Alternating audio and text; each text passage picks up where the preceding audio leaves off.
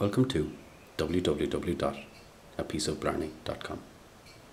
Today I'm showing you a children's bracelet. It's 7 inches long. It has two end silver plated lucky clovers, two trinity knot beads, and one trinity knot center dangle. And it can be yours for $12 on www.apieceofblarney.com.